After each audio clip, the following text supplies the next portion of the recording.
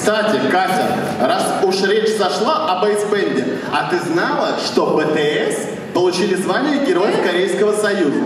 Сашенька, а ты знаешь, что если ты еще раз BTS назовешь BTS, боюсь, представители нашей следующей номинации cover dance дефиле станцуют кей-поп у тебя на лице,